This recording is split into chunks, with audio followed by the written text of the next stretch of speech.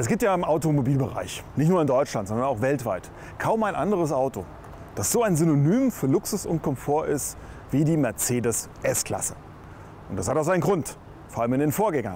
Wenn wir uns gerade diesen hier anschauen, Mercedes S-Klasse, W116, die erste S-Klasse, die so hieß, 1972 gestartet. Es gibt auch andere, die ich kenne, die 1972 auf die Welt kamen. Und das ist halt wirklich ein legendäres Auto, vor allem in dieser Ausführung hier. Der ist von 1980, hat 286 PS und vor allem den V8-Motor mit 6,9 Liter Hubraum.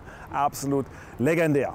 Über das Auto könnte man viel erzählen, wahrscheinlich mache ich es auch irgendwann mal im Video, aber mein Thema heute ist ja die neue S-Klasse, W223 und dabei vor allem, was ist an der neuen S-Klasse innovativ? Das will ich heute klären. Und ihr wisst ja, das wird gut und heute auch sehr luxuriös. Perfect.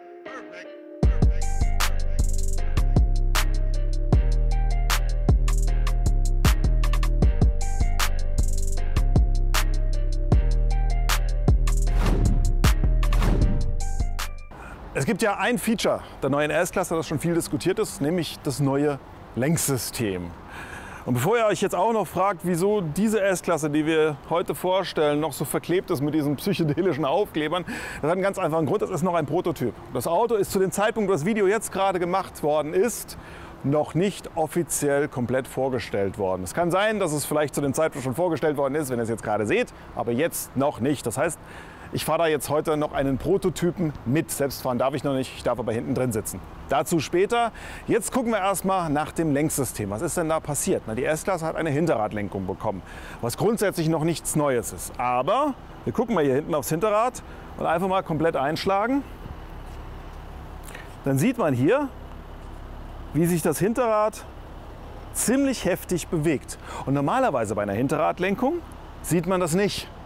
Die haben bisher bei den bisherigen Lenksystemen, ob es jetzt bei äh, BMW, Renault oder ähnlichen waren, immer nur einen kleinen Lenkwinkel gemacht, so maximal 3 Grad. Und das System hier macht bis zu 10 Grad. Aber egal wie, das Entscheidende ist ja, was kann ich mit dem System anstellen? Ich kann mit der S-Klasse, obwohl sie 5,29 Meter groß ist, einen ziemlich kleinen Wendekreis fahren. Und ob das wirklich so ist, das probieren wir jetzt mal aus. Und ich äh, fahre mit der alten S-Klasse hinterher und guck mal, äh, was die so macht. Okay,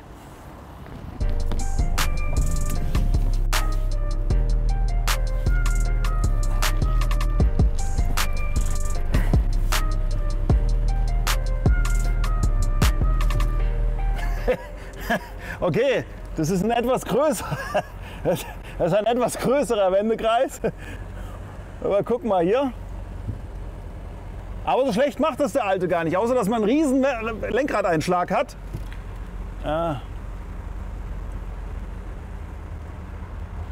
Jetzt ist äh, die alte S-Klasse auch ein bisschen kürzer. Also man sieht ja, die alte S-Klasse macht das gar nicht mal so schlecht, aber man muss mal vorne auf den Lenkrad oder auf den Radeinschlag schauen. Und dann sieht man, dass die Räder sehr stark einschlagen können, weil die damals vergleichsweise sehr schmal waren. Das heutzutage sind ja Riesenschlappen. Und damit habe ich natürlich ein bisschen mehr Platz im Rathaus. Ich kurbel mir aber hier so einen richtigen Wolf am Lenkrad. Aber grundsätzlich macht er das gar nicht mal so schlecht.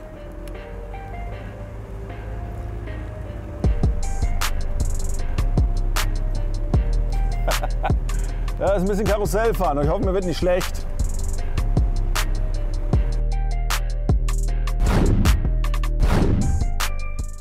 Es gibt drei Dinge, an die man sofort denkt, wenn man über die Mercedes S-Klasse redet. Komfort, Komfort und Komfort. Und wo genießt man in diesem schwäbischen Luxus-Schlachtschiff den besten Komfort? Im Fond. Und jetzt brauche ich noch einen Fahrer und da habe ich mir einfach den besten ausgesucht, den man sich für die S-Klasse vorstellen kann, nämlich den Chefentwickler der S-Klasse, Jürgen Weisinger. Der sitzt jetzt hinterm Steuer und den werde ich natürlich ordentlich löchern zu den Neuheiten und Innovationen in diesem Fahrzeug. Und jetzt freue ich mich erstmal auf einen der gemütlichsten mobilen Arbeitsplätze der Welt. Hinten rechts sitzt der Chef.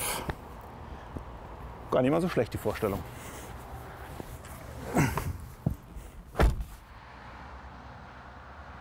So, und jetzt ähm, konzentriere ich mich mal ein bisschen hier auf den Popo-Komfort.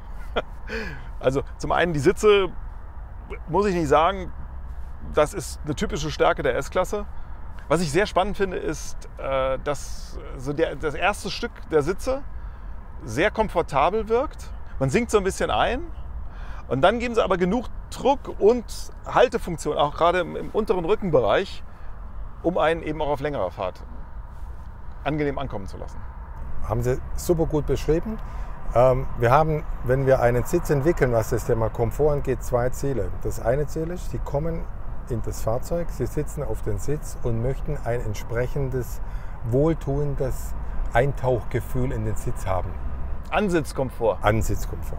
Auf der anderen Seite möchten Sie aber, wenn Sie auf einer Langstrecke sind, brauchen Sie eine entsprechende Stabilität des Sitzes, dass er Ihnen eine Form vorgibt und Ihnen damit ähm, ein gutes Gefühl über eine längere Zeit gibt äh, und die Haut nicht zu Verspannungen führt, was Sie letztendlich als Schmerz empfinden.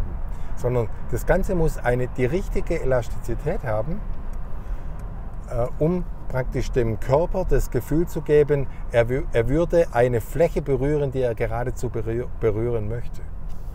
Also es ist, es ist toll.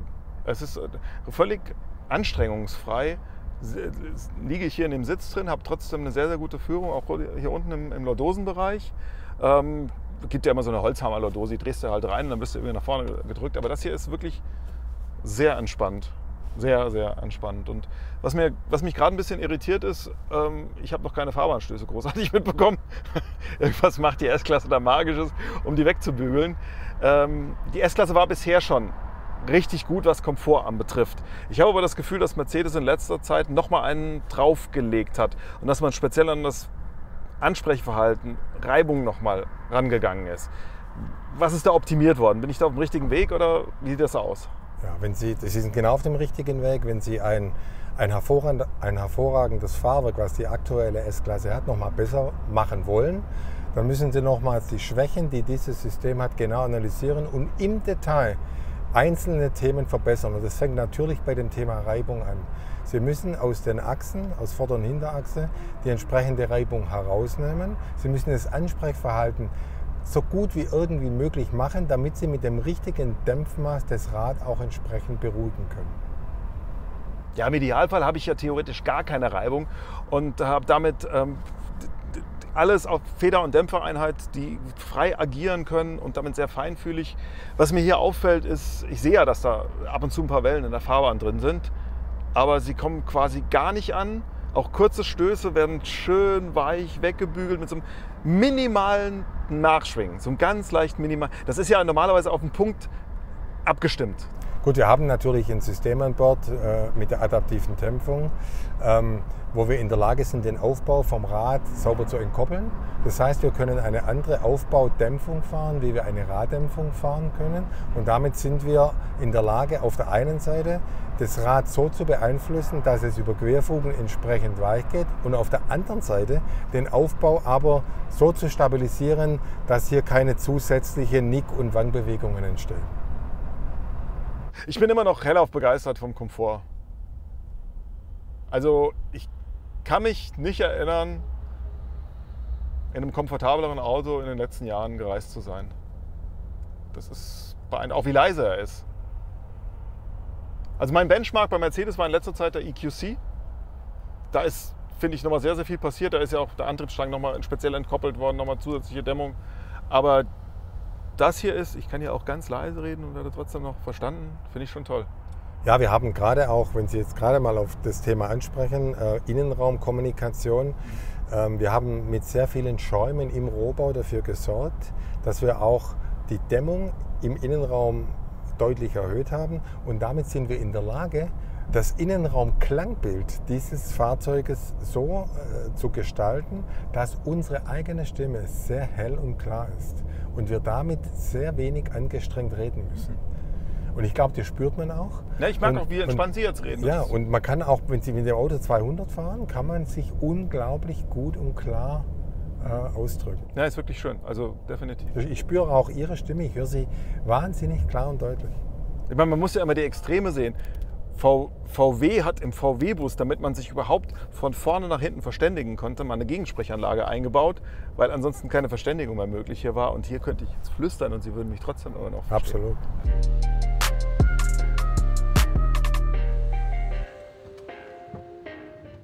Und bevor ich jetzt tief in die Technik einsteige, erstmal eine kleine Anekdote, nämlich der frühere Mercedes-Vorstandsvorsitzende, Dr. Dieter Zetsche, hat zum Thema ABC promoviert. Also nicht zum Alphabet, sondern, sondern zum Active Body Control Fahrwerk.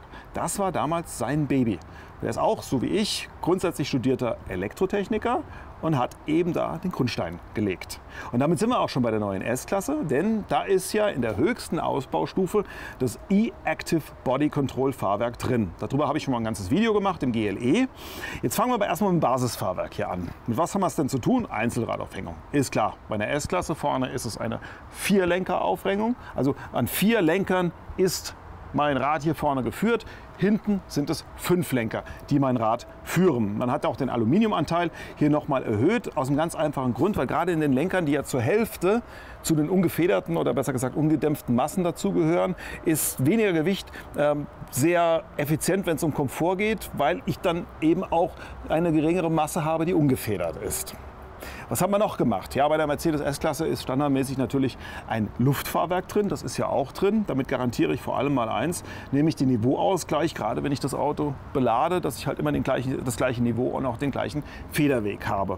Und man hat sehr, sehr stark an der Reibung gearbeitet, der Komponenten.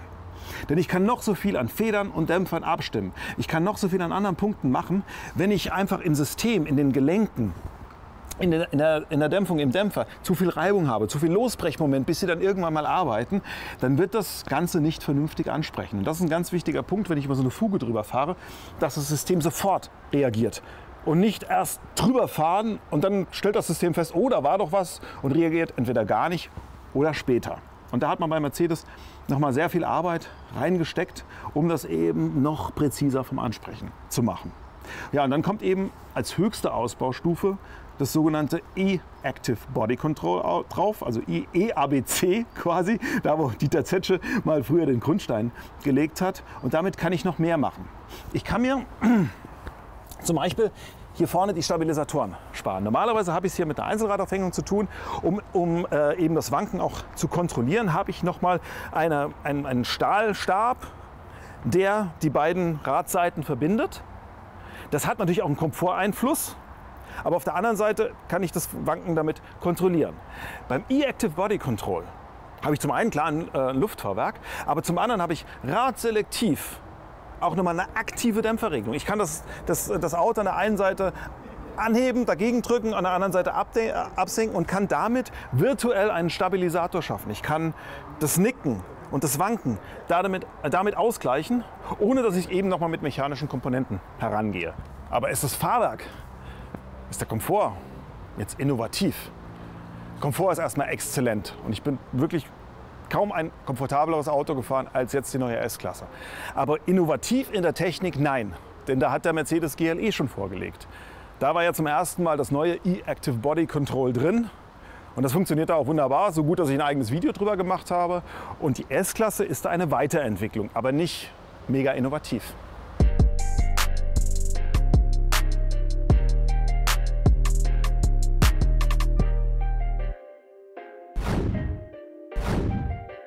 Ist das Infotainment-System innovativ? Und bevor ich das jetzt beantworte, schauen wir uns erstmal die Kommunikationsmöglichkeiten, vor allem die Antennen der neuen S-Klasse an. Man muss ja auf verschiedenste Wege kommunizieren, damit überhaupt der ganze Multimedia-Kram funktioniert. Und vorne in der Frontscheibe ist keine Antenne mehr. Früher war da eine drin, die sind jetzt aber an andere Orte gewandert und das ist ganz interessant. Hier in den Außenspiegeln steckt ein Wi-Fi-System drin, das brauche ich für K2X-Kommunikation. Also wirklich eine Kommunikation von Auto zu Auto oder Auto zu Infrastruktur oder ähnliches.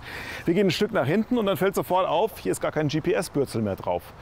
So typisch hat man ja früher so ein Bürzel drauf gehabt, da war dann die äh, Telefonantenne drin und GPS-System. Das ist jetzt alles hier in diesen Bereich gewandert. Und das hier ist auch nicht aus Metall, sondern aus Kunststoff und dadurch gehen hier die Strahlungen durch.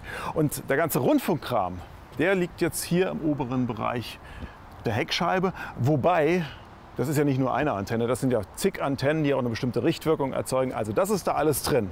Und das sorgt alles dafür, dass das Multimedia-System erst richtig funktionieren kann. Und da steckt eben hier die mit Abstand größte Ausbaustufe von Mercedes MBUX drin.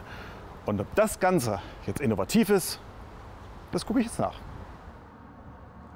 Was ist besonders, was ist ganz neu jetzt in der S-Klasse? Also wir haben uns, als wir die S-Klasse konzipiert haben, natürlich überlegt, was können wir dem Kunde im Jahr 2020 bieten. Und wir sind zu der Erkenntnis gekommen, wir wollen gerade die Anzeigemedien revolutionieren. So haben wir ein Head-Up-Display entwickelt, das einen Abstand hat, wo Sie praktisch eine virtuelle Anzeige haben weit vor dem Fahrzeug. Es wirkt so, als wäre, wäre 10 Meter vor dem Fahrzeug äh, wird die Information dargestellt und es beruhigt ein solches Setup-Display ungemein. Und zusätzlich äh, sind wir dadurch in der Lage, diese Botschaften, die wir da senden, sehr straßennah zu orientieren und können damit eine virtuelle Realität auf die, auf die Straße projizieren.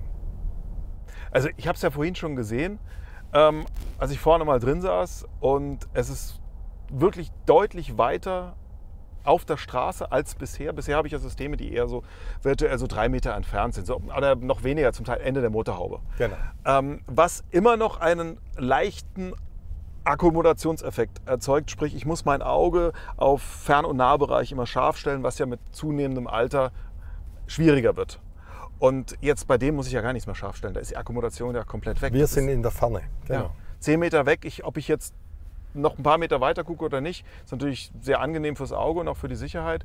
Was ich aber auch toll finde, ist, dass es so straßennah ist. Und da gibt es ja jetzt noch ein paar Funktionen, die auf der Straße abgebildet werden können. Ich mache mal ein Beispiel, wenn Sie jetzt hier die gestrichelten Linien sehen, also den Mittelstreifen sehen, und ich würde nun unerlaubterweise, also ohne zu blinken, diesen Mittelstreifen befahren, dann projizieren wir ein rot, eine rot blinkende Linie auf diese äh, gestrichelte Linie und das warnt den Fahrer, dass er jetzt hier nicht drüber fahren sollte.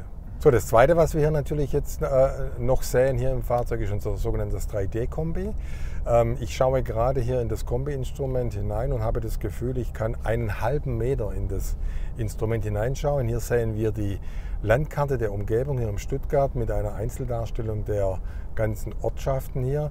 Man sieht zum Teil die, die Gebäude und ähm, das gibt einen ganz neuen ähm, Eindruck, einen Raumeindruck, ähm, äh, wie man praktisch so eine Karte darstellen kann.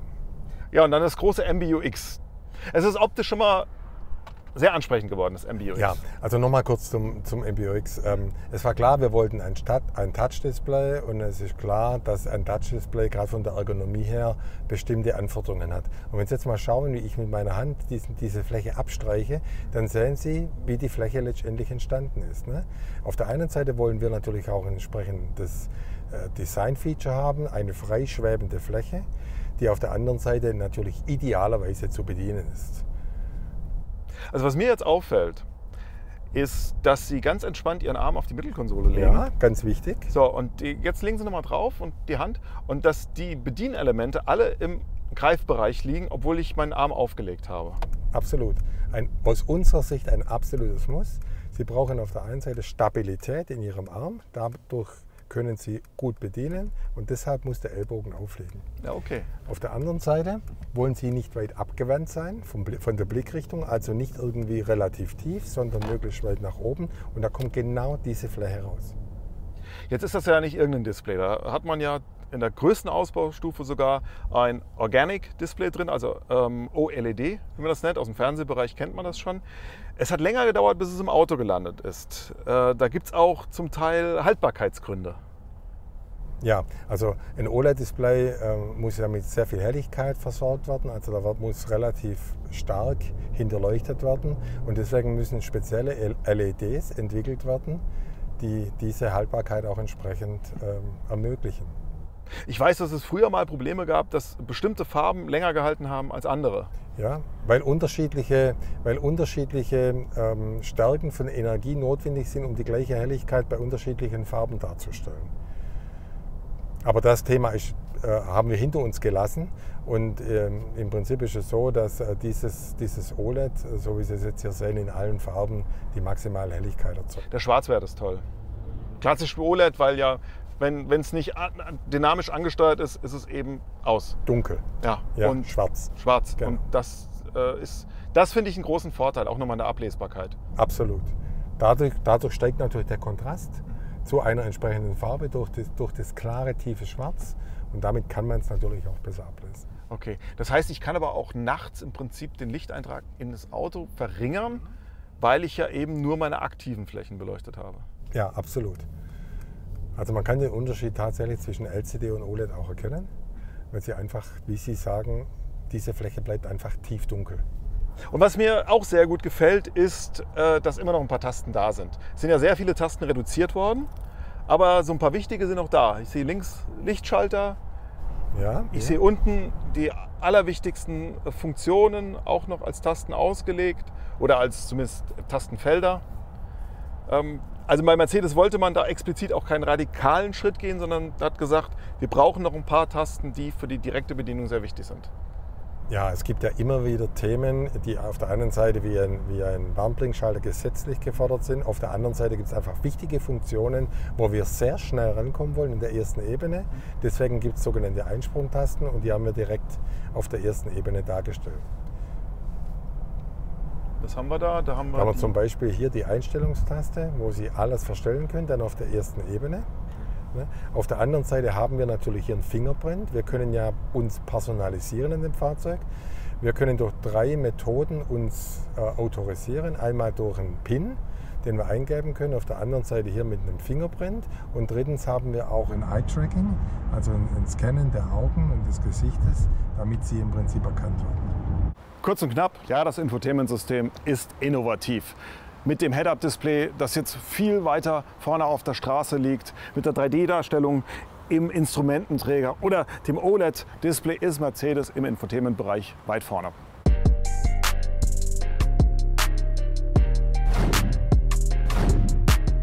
Die Motoren der S-Klasse. Machen wir die Motorhaube auf. Wie sieht es da mit den Innovationen aus? Es gibt rein 6-Zylinder Diesel, es gibt rein 6-Zylinder Benziner, es gibt einen V8 Benziner und, und das finde ich persönlich sehr schön, es gibt auch einen V12 Motor in der S-Klasse. Und da wurde bei Mercedes wirklich darüber diskutiert, ob man heutzutage vielleicht noch einen V12-Motor, ob das noch zeitgemäß sei. Also wenn ihr mich fragt, natürlich, ein V12-Motor ist mit die Krönung des Motorenbaus. Und bei Mercedes, bei einer S-Klasse gehört das einfach dazu. Ja, und es gibt eben noch einen solchen Motor, 612 PS. Man darf nur gespannt sein, in welchen Varianten er reinkommt. Aber wie sieht es denn mit den Innovationen aus? Wir gucken es uns mal an. Ich fange mit dem Diesel an.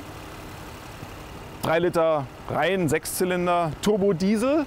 Und der ist ehrlich gesagt am einfachsten in Anführungsstrichen aufgebaut. Der hat ein klassisches 12 Volt Bordnetzsystem. Der hat keinen elektrischen Verdichter, der hat kein Mild-Hybrid-System, das ihn unterstützt. Das ist halt ein moderner Dieselmotor, funktioniert gut, hat 210 Kilowatt oder 286 PS. Und jetzt einen kleinen Fun Fact.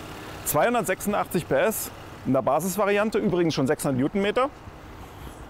Die stärkste Variante, der von 1980, der damaligen S-Klasse, der 6,9 Liter, der legendäre 6,9 Liter Hubraum V8-Motor, Sauger, hatte 286 PS. Und das finde ich schon irgendwie witzig, dass damals die stärkste Variante, von der noch nicht mal 800 Stück verkauft worden sind, so viel Leistung hat wie inzwischen die Einsteiger, die Basisvariante bei der S-Klasse. Ja, und dann geht es natürlich hoch. Dann ähm, kommen wir zum reinen Sechszylinder Benziner. Dann kommt der V8 Motor, der übrigens mit Mild-Hybrid-Unterstützung genauso wie der rein Sechszylinder kommt. Das heißt, ich habe ein 48 Volt Bordnetzsystem drin. Und das wirft, wirft nochmal 16 Kilowatt, also Pi mal Daumen 20 PS zusätzlich auf die Kurbelwelle drauf. Wobei das bei einer S-Klasse, die geht es ja nicht mit Schaltgetriebe, die ist ja immer mit dem Automatikgetriebe gekoppelt. Ein sogenannter integrierter Startergenerator ist. Das heißt, da sitzt zwischen dem Motor und dem Getriebe nochmal, ich nenne es immer Kraftscheiblette, der Startergenerator dazwischen. Und der wirft halt nochmal zusätzlich Leistung drauf. Soll zum einen dafür sorgen, dass das Ganze noch effizienter fährt. Was genau für Daten, das werden wir dann äh, sehen. Und äh, eben nochmal 16 Kilowatt zusätzlich. Und zusätzlich ist es eben auch interessant, wie es denn mit der Aufladung aussieht. Jetzt könnte man sagen, ja, sind alle Turbo aufgeladen. Aber so einfach ist es nicht. Ich fange nochmal beim Diesel an. Der Diesel hat keine zusätzliche Aufladung.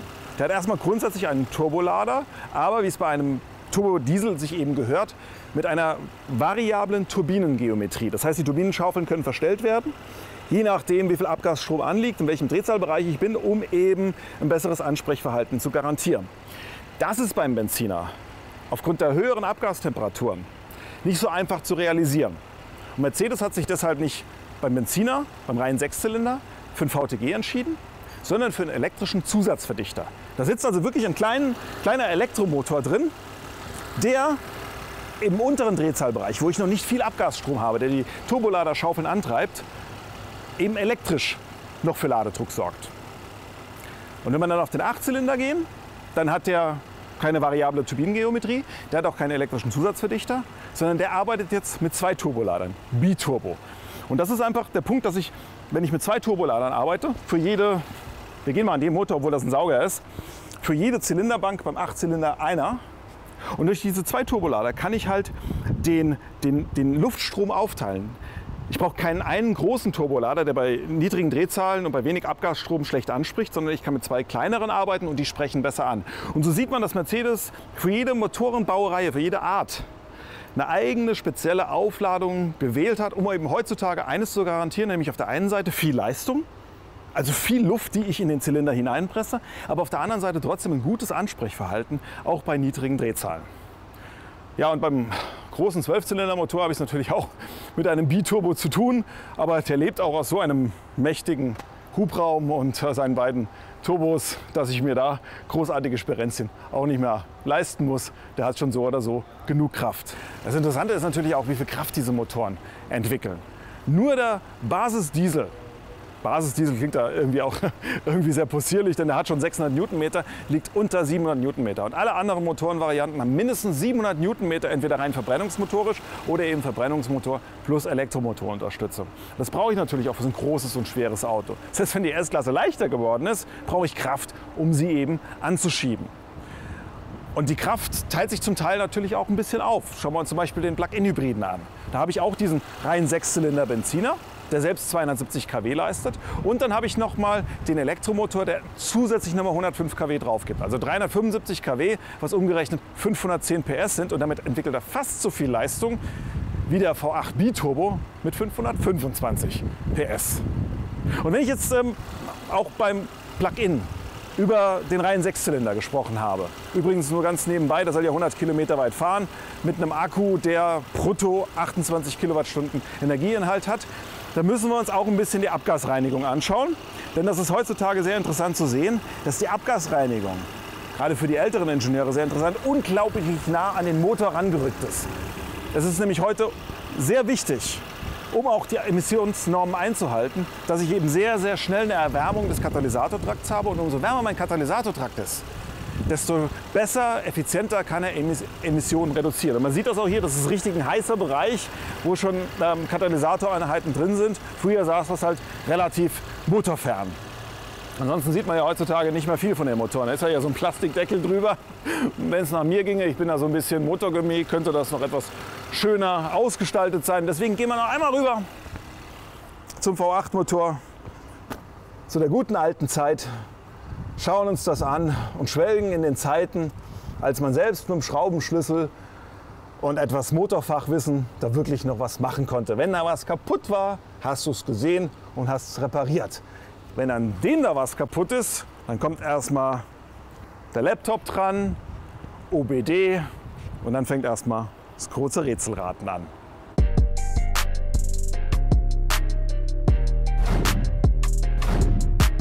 ist die neue S-Klasse bei der Effizienz, also bei den Fahrwiderständen oder der Verringerung der Fahrwiderstände innovativ. Das Thema Motoren ist ja erstmal ein eigenes Kapitel. Da muss, muss sie natürlich auch effizient sein. Aber bei den Fahrwiderständen geht es vor allem um zwei Dinge, nämlich Gewicht und Luftwiderstand.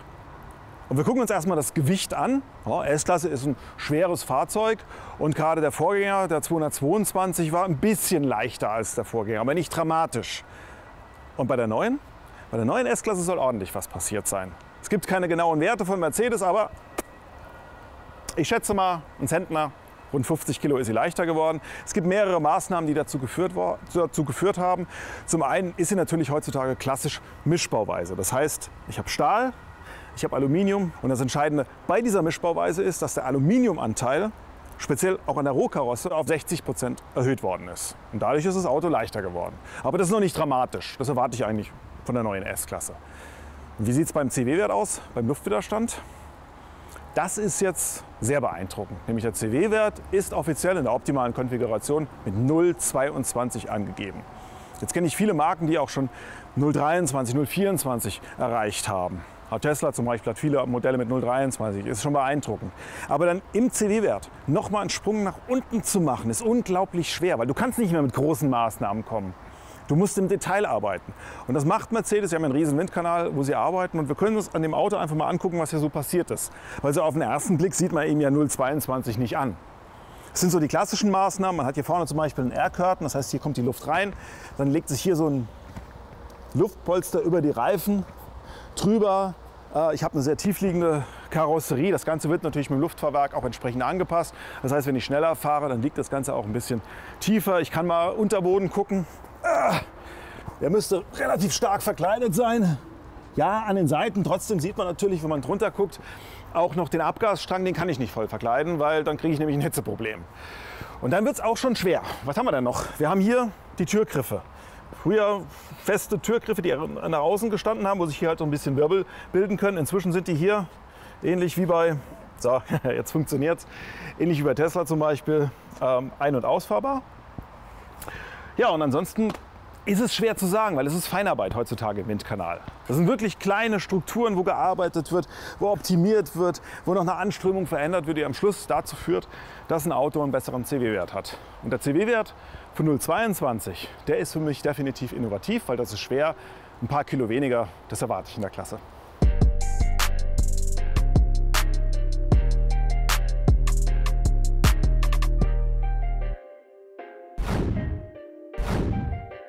Sind die Fahrerassistenzsysteme der neuen S-Klasse innovativ? Das ist eine sehr spannende Frage, denn ich bin vor einigen Jahren schon von Mercedes einen Versuchsträger gefahren, der auf der alten Benz-Strecke, also dort, wo Bertha Benz zum ersten Mal Auto gefahren ist, voll autonom gefahren ist. Natürlich mit viel mehr Assistenz- und Sensorsystem. Und trotzdem gucken wir uns das mal hier von außen an, was hier alles so drin steckt. Ich habe hier oben eine weiterentwickelte Stereokamera. Ich habe hier nochmal eine einzelne Kamera. Ich habe hier zwei Radarsysteme drin, nämlich ein Short Range und einen Long Range Radar. Das heißt, das ist schon mal eine volle Sensorausstattung, um grundsätzlich viel Fahrerassistenz zu ermöglichen. Aber wie das jetzt im Detail aussieht, das schaue ich mir jetzt an. Jetzt der Fahrerassistenz ist ja ein, äh, ein ganz wichtiger Punkt. Die S-Klasse ist ja theoretisch Level 3 fähig. Ja, das wird sie auf jeden Fall ähm, noch werden. Äh, Im Augenblick fahren wir jetzt Level 2, also ein Fahrerassistenzpaket, bei dem der Fahrer noch die Verantwortung hat. Und wir haben vor, auch ein Level 3 System einzusetzen. Also es gibt quasi fünf Stufen beim autonomen oder teilautonomen Fahren. Stufe 1 und 2 ist der Fahrer in voller Verantwortung. Er muss auch die Umgebung beobachten. Und ab Stufe 3 ist das Auto für die Umgebungsbeobachtung zuständig. Trotzdem muss bei Level 3 der Fahrer immer noch eingriffsbereit äh, bleiben. Und zwar in einer angemessenen Zeit. Genau. Aber das ist ja gesetzlich noch nicht erlaubt auf deutschen Autobahnen. Gut, die Zertifizierungen laufen gerade in diesen Tagen. Wir arbeiten daran, äh, die Freigabe dafür zu bekommen und werden das dann zu gegebener Zeit auch kommunizieren. Ja, sieht also aus, als würden wir Deutschen vielleicht mit eines der ersten Länder werden. Ja, ich hoffe darauf. Ja. Ich, ich habe ja so ein bisschen, ich sage es ganz ehrlich, ein etwas ambivalentes Gefühl, wenn es ums autonome Fahren geht. Ähm, wenn ich äh, morgens zum Beispiel meine Strecke fahre von äh, Düsseldorf in die Eifel nach Mendig, die ich quasi schon fahre wie ein alter Gaul, weil ich sie äh, tausendmal gefahren bin, dann habe ich da keinen Fahrspaß mehr. Ganz ehrlich. Und ein System, das mir da viel von der Fahraufgabe abnimmt, wäre für mich da was Tolles. Aber auf der anderen Seite bin ich natürlich auch ein aktiver Fahrer, der ein Auto auch erleben will und der sich vom Auto nicht bevormunden lassen will. Jetzt habe ich noch zwei Themen, die mich sehr interessieren. Zum einen das Lenkrad. Ich weiß, dass mit, äh, dem E-Klasse, mit der E-Klasse Modellpflege ja die kapazitive Erkennung im Lenkrad Einzug gehalten hat. Ich gehe mal davon aus, dass es hier auch drin ist. Ja, das haben wir. Das heißt, man muss wirklich das Lenkrad nur noch berühren. Man muss keine Lenkbewegung mehr äh, einprägen, damit das System erkennt, ich bin am Lenkrad. Und äh, viele äh, Felder, die bis, äh, sind jetzt auch auf kapazitive Erkennung, also Bedienfelder auf kapazitive Erkennung umgestellt worden. Ja, also am Lenkrad sieht es jetzt so aus. Wir haben hier im, im, im Kranz des Lenkrades eine kapazitive Matte, die erkennt die Berührung durch die Haut. Und es reichen kleine Flächen aus, um äh, im Prinzip erkannt zu werden. Ne, Sie sehen jetzt hier, hier lege ich jetzt diese drei Finger auf und diese drei Finger werden jetzt erkannt und damit sind wir im entsprechenden Modus und wir können, wie Sie jetzt gerade hier sehen, äh, mit Distronic fahren. Und auf der anderen Seite haben wir sogenannte Slider. Das heißt, wir können durch Streichen über diese Felder hier die, Geschwind die Sollgeschwindigkeit von Distronic verändern. Hier steigt jetzt die Geschwindigkeit um einzelne Kilometer. Ja. Oder hier können wir mit dem Querslider äh, die Bedienung entsprechend vornehmen, um die unterschiedlichen Inhalte auf dem Kombi-Instrument darzustellen. Wie hier zum Beispiel ein Sport-Tacho oder eine Karte, wie wir jetzt hier haben, in 3D wie gesagt. Oder aber eine Assistenzgrafik, damit wir erkennen, welchem Fahrzeug folgen wir im Augenblick. Okay, dieses Mal sogar mit LKWs und Autos. Jetzt muss ich leider was Gemeines sagen. Hat Tesla ja schon gemacht. Aber ist jetzt auch hier drin und ist schön umgesetzt. Was hat die äh, S-Klasse denn äh, fahrerassistenzmäßig noch drauf? Na gut, wir haben eine Längsführung, wir haben eine Querführung. Ähm, wir erkennen, wir können Radfahrer erkennen, Fußgänger erkennen. Also die, die Kamera, die wir hier oben sehen, hat jetzt nochmal einen Schritt gemacht. Wir sind natürlich, was das Thema Parken angeht, werden wir einen, einen Schritt weiter gehen. Remote Parking wird gehen. Mhm. Äh, wir haben da noch mehr vor, da wollen wir aber gerade noch nicht drüber reden. Auch mit mir dürfen Sie drüber reden? Ja, das wollen wir, ihr habt Zeit. Also. Das, das wollen wir zu, zum entsprechenden Zeitpunkt dann schon noch kommunizieren und auch zeigen. Ähm, also ich denke, dass gerade das Thema ähm, Assistenzsystem, Unterstützung äh, im Niedergeschwindigkeitsbereich einen, einen großen Schritt äh, machen wird und das Thema Reife immer mehr Qualität in, in Regelungen zu bringen, und neue Funktionen ähm, werden wir auch jetzt hier wieder in der S-Klasse sehen. Ja, ihr habt es gesehen.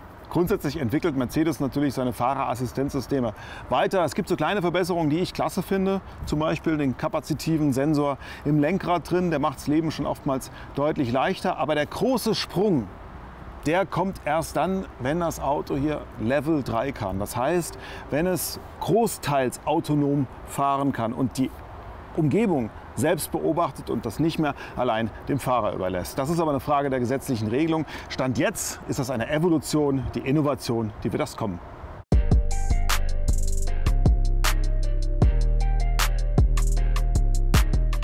Wie sieht's aus? Ist die neue S-Klasse W223 so innovativ wie erwartet?